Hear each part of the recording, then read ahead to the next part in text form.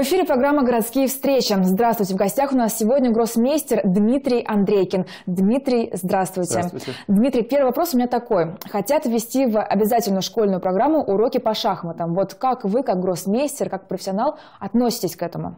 Ну, я считаю, безусловно, это положительный эффект, но это должно быть на факультативной основе, поскольку все-таки я думаю, что родители и сами дети имеют право на выбор. То есть если человек хочет заниматься чем-то еще, там, музыкой или углубленными иностранными языками, то это его выбор. И, безусловно, шахматы полезны для всеобщего развития. Я думаю, что как раз шахматы в школе достаточно позитивная программа в том плане, что чем больше людей узнают вообще, что такое шахматы, да, это касается подрастающего поколения, тем больше будет популярность у шахмат. И, может быть, не каждый даже будет играть из этих детей, но, тем не менее, они хотя бы начнут понимать красоту шахмат. Потому что сейчас, конечно, не так много людей. Да, вот интересно, принципе, на данный понимают. момент как вы оцениваете заинтересованность у молодежи шахматами? Ну, я думаю, что она на достаточно низком уровне, объективно говоря. Именно в России, да? Да Или в это России, тенденция ну, всего может быть, мира? за рубежом чуть лучше. То есть за рубежом, скажем так, население, может быть, чуть больше интересуется шахматами. Но в то же время я хочу сказать, что, скажем, Федерация Российская, она достаточно неплохая относительно европейских. То есть у нас в шахматы вкладываются действительно достаточно большие деньги, в отличие от Европы. Но, конечно, не будем брать э, в Америку и Китай. Там, наверное, все гораздо лучше, чем у нас. И в плане вложений, и в плане, в общем-то, молодого поколения.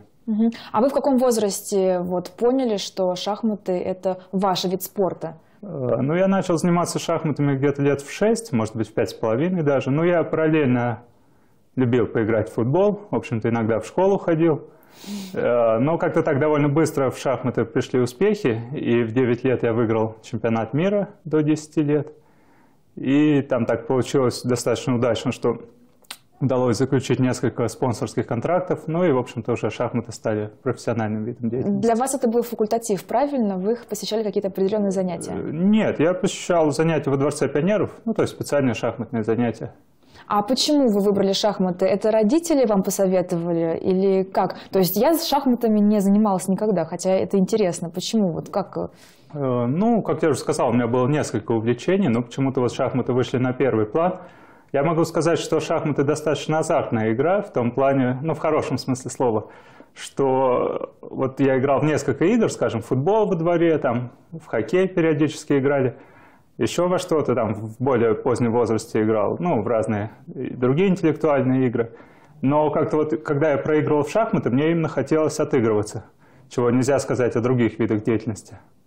А момент в своей жизни помните, когда вы уже поняли, что сможете стать мастером, гроссмейстером? Ну, наверное, это произошло где-то лет в 15, когда я уже перешел во взрослые шахматы. То есть в детских шахматах всегда были успехи определенные, но вот этот вот переход из детских, юношеских шахмат турниров, где можно ездить на чемпионаты Европы, мира, зарабатывать медали, но в плане повышения уровня все-таки это ничто, по большому счету.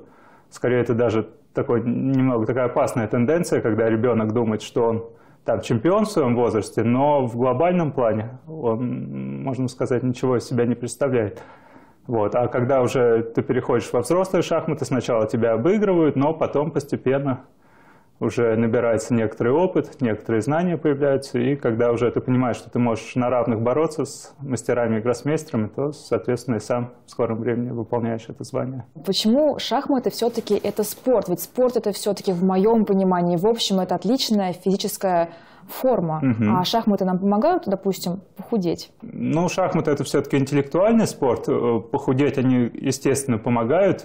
В общем-то, потому что вот я знаю, что Нервное когда напряжение? игрались, да, нервное напряжение, само собой, особенно проявляется в турнирах высокого ранга, особенно в нокаут-турнирах, где одна ошибка может стоить зачастую вылета. И в тех же нокаутах бывает так, что игра проходит целый день.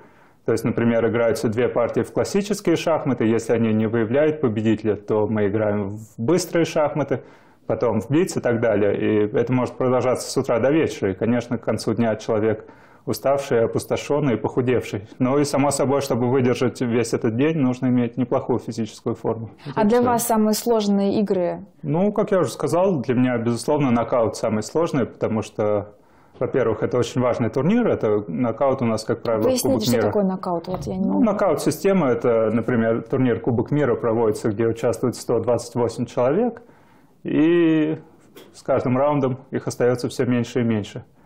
И, соответственно, цена одной ошибки очень высока, поскольку, сделав неправильный ход, вы проигрываете и уезжаете домой.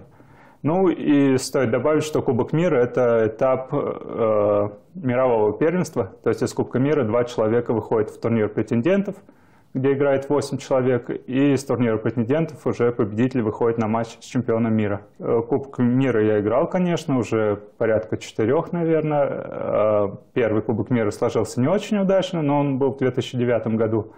2011 э, год сложился чуть удачнее. Я дошел до второго раунда, где проиграл россиянину, ну, который тогда, впрочем, был фаворитом. То есть это было такое ожидаемое поражение.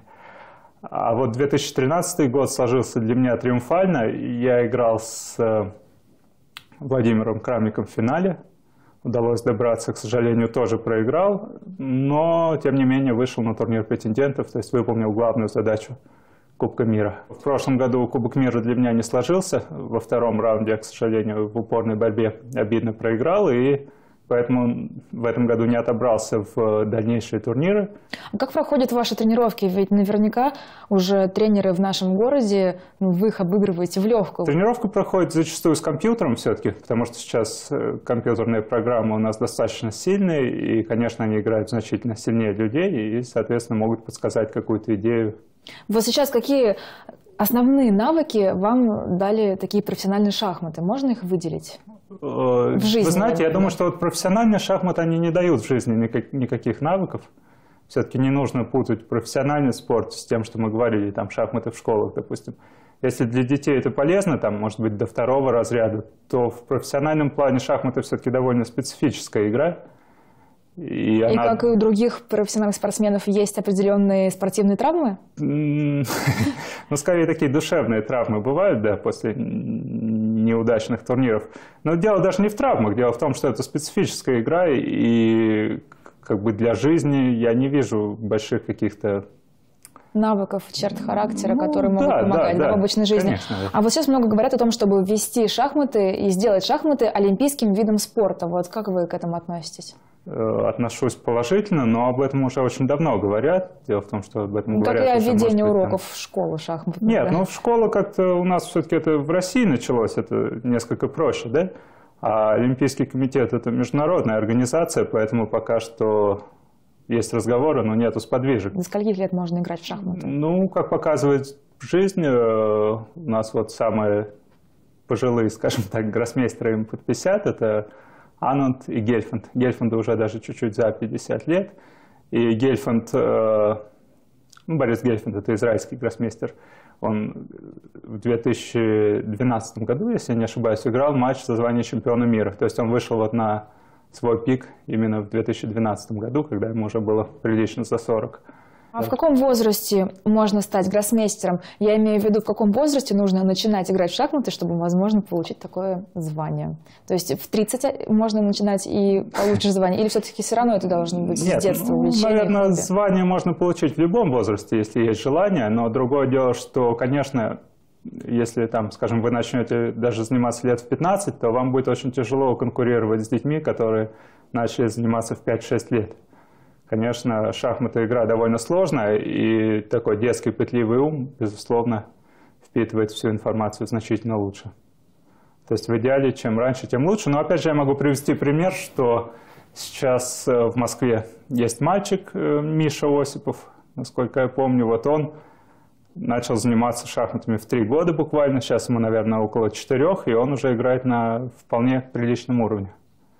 А вы тренерской работой занимаетесь уже сейчас? Нет, как таковой тренерской не занимаюсь. То есть я скорее со своими товарищами там по сборной или просто с какими-то друзьями шахматами занимаюсь, ну, как спарринг, спарринг деятельностью. То есть мы помогаем друг другу. Самые сильные ваши соперники, вот так сможете сразу назвать несколько имен? Самые сильные? Ну, безусловно, то есть я, в принципе, играл со всеми. Ну, действующий чемпион мира Магнус Карсен. Мы с ним играли первый раз даже, наверное, в начале ну не в начале 90-х, скорее в конце 90-х, в 99 году, когда был чемпионат мира до 10 лет. Тогда удалось его обыграть, и причем э, вот у нас из России было несколько очень сильных ребят, включая меня. А чемпион мира, действующий Магнус Карлсон, он тогда вообще никак не котировался. То есть был действительно такой ну, мне казалось, Сейчас что он вы хотели любитель. с ним встретиться еще? Ну, последний раз мы с ним встречались не так давно, в прошлом году, вот на турнире в Иконзе в Голландии, и тогда сыграли в ничью. Ну, то есть вот у него интересно так получилось, что в детстве он э, не подавал никаких надежд, потом на какое-то время вообще отошел от шахмат, но потом у него семья приняла такое интересное решение, они, насколько я знаю, продали всю свою недвижимость, Э, купили вот эту вот э, машину на колесах, дом на колесах, да, и поехали путешествовать по Европе. И в это время Магнус играл какие-то турниры в Европе и достаточно быстро набрал определенный уровень, после чего уже стал, опять вернулся в профессиональные шахматы. Вы перед собой видите цель чемпиона мира, да? Да сейчас уже, честно говоря, наверное, нет. Почему? Ну, До 40 лет, мне кажется, как вы сказали. Нет, ну, можно... безусловно, да. Но то есть я все-таки предпочитаю подниматься шаг за шагом. И сначала мне следует набрать, видимо, какую-то определенную форму, там войти, скажем, в топ-15, топ-10 хотя бы, прежде чем уже задумываться о более высоких достижениях. То сейчас это не так просто, потому что очень высокая конкуренция, опять же. В Китае есть э, талантливая очень молодежь, которой там 15-16 лет, и которая уже играет ну, на моем уровне, или, может быть, пока чуть ниже, но в силу недостатка опыта. Но я не сомневаюсь, что через 2-3 года они все-таки уже станут очень сильными. А с чем это связано? С ними как-то по-другому занимаются? Или они более упорные, упертые и видят перед собой? Ну, наверное, в первую очередь они работоспособные, да, то есть они действительно То есть все менталитет время... играет роль? Менталитет, само собой, играет роль, плюс поддержка государства, то есть не секрет, что в Китае есть такие школы-интернаты, исключительно шахматные, где детей с самого, можно сказать, рождения принимают, отрывают от родителей, и они, ну, наверное, осваивают какую-то общеобразовательную программу, но в то же время делают упор больше упор на шахматы. шахматы да. И, соответственно, государство оплачивает им, финансирует любые поездки по турнирам. Таким образом, они быстро набирают опыт, получают знания. Также лучшие китайские гроссмейстеры занимаются с молодежью они подключены к этой программе. Ну и, в общем-то, это дает результаты. Вот могу сказать, что у нас э, в Подмосковье в этом году тоже планируется, насколько я знаю, открытие такого специнтерната, где дети будут получать общее среднее образование, но, наверное, изначально будут настраиваться да, все-таки на профессиональные Вот перед, перед интервью вы мне сказали, что гроссмейстеров, э, их много, а как мне показалось, тысяча человек – это совершенно небольшое, небольшое количество людей, тысяча гроссмейстеров на весь мир. Да, ну, может быть, сейчас уже даже больше тысячи, но просто дело в том, что в советские времена гроссмейстеров были единицы, а сейчас эта планка немного понизилась. То есть у нас так или иначе все-таки происходит инфляция рейтинга, и как следствие инфляция званий, потому что э, человек, который начинает играть в шахматы, он уже получает определенный рейтинг – ну, это, в общем-то, происходит то же самое, что и там денежная инфляция, да, если мы напечатаем несколько купюр, их станет больше в круговороте, и таким образом рейтинги так или иначе растут слегка, и таким образом все больше и больше званий появляется. А все-таки надо учитывать, что в шахматы приходит довольно много людей с каждым годом. То есть, может быть, они даже не остаются там надолго, но они пробуют играть, они получают начальные рейтинги, таким образом, в общем-то, гроссмейстера выполнить все проще и проще. Сейчас э, ну, Международная шахматная федерация ФИДа думает о том, чтобы ввести звание супергроссмейстера mm-hmm. или назвать это как-то еще, но в целом я не думаю, что это важный аспект. Все-таки сейчас все определяет рейтинг, то есть условно, как, например, в большом теннисе, там нет никаких званий, но есть рейтинги, и по этим рейтингам все сразу понятно. Дмитрий, спасибо вам большое за беседу. Угу. Очень интересно. Спасибо. Успехов вам в вашей профессиональной деятельности. Телезритель напомню, что в гостях у нас сегодня был гроссмейстер Дмитрий Андрейкин. Спасибо за внимание и до новых встреч в эфире.